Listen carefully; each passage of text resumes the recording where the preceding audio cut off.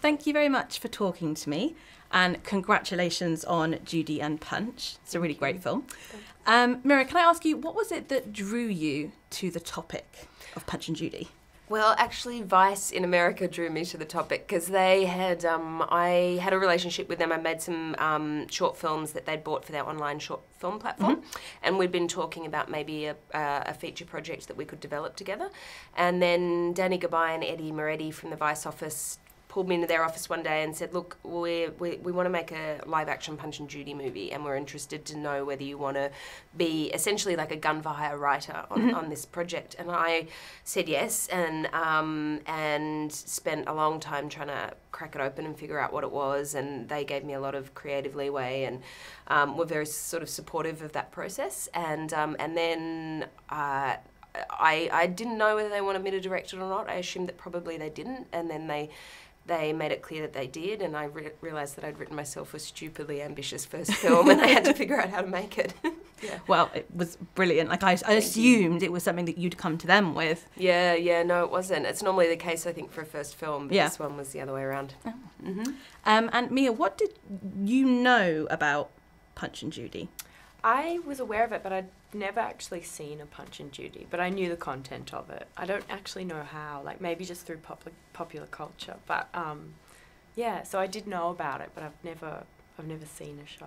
I think that seems to be the, the case for like most people. I've never seen a show either, yeah. but I just I know it. Like if someone says Punch and Judy, I'll be like, oh yeah, yeah. Mm. I know what that is. It's a bit of a worry if, if people have seen it. I think. yeah, yeah. I don't know. We shouldn't yeah. be showing it anymore. Um, this kind of leads on to the next question I was going to ask you, Mirrah, which is that the the context and all the detail of Punch and Judy is in the film. I mean, you've got the violence, the character names, Toby the dog. Mm-hmm. Um, when did you decide that you kind of wanted to put the show in the film as well as tell a narrative? I was fairly early on. I mean, I, I kind of tooled around with a whole bunch of different versions of how we could tell a story or what it wanted to be or what we wanted to say with it. Um, and I think when I decided to take it back to a period piece that sort of um, um, worked with when, when the puppets were marionettes and, and um, it became like a sort of fictionalized origin story, that's when I thought, oh, it'd be great to create um, a, a very meta world where you have all of these stock characters existing these guys are, um, are, are, real life puppeteers, so you get to see the puppets within the stage. You get to see Judy and Punch um, within the film, and you know, I, I, I, sort of like that idea of threading all of those mm. things through. So Mia, you obviously worked with Damon Herriman playing Punch. Mm-hmm. What was that like? Because obviously it's a very difficult relationship between the characters. Yeah, it was really good. We've actually we actually worked together on a short film ten years oh, earlier. Really? Oh. Yeah, it was probably one of like my first ever short films. Mm. Um, and so I had known him, and I'd known him just through the industry. But um, he's such a lovely guy. He's really obviously very different to Punch, and mm-hmm.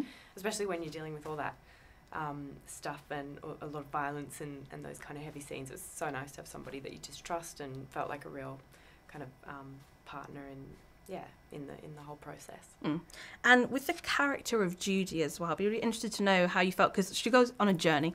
Mm. Obviously, she's very gentle and loving, and then kind of goes on this big retributive mm. journey. Um, how do you think the town of Seaside kind of plays into that? Because there's a lot of suspicion of essentially talented women. Yeah, well, for sure. I mean, and you also hear that sort of story about her, which gives you a bit of a background around her whole relationship and being swept up with Punch and going on tour, and then him kind of ruining the whole thing and them having to come back. And so there is this sort of sense that they've kind of come back a bit sheepish and um, had to kind of pick up from where they left off. But you know that things are looking up and then and then they aren't.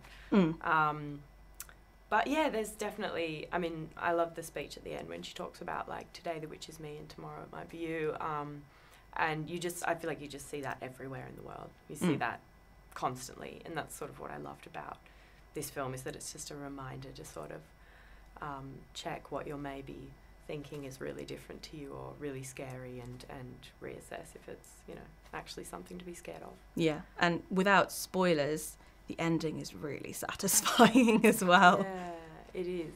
It is a very clever ending it's very neat, kind of wraps. Like I think the whole film, it just kind of by the end of it, like oh, this all comes together mm. really, really well, and mm. you feel like mm. oh, I now know about the the show. I know about Han- Punch and Judy, but I've also got this really satisfying story going on. Yeah. Um, so my final question would be I want to talk to you, Mirrah, about like the music choices because mm-hmm. they're really cool and kind of edgy and anachronistic. Mm. When did you sort of decide to put that in the process? Because I mean, the opening scene, for example, is like one of the most exciting opening scenes I've seen in a really long time. Oh, good.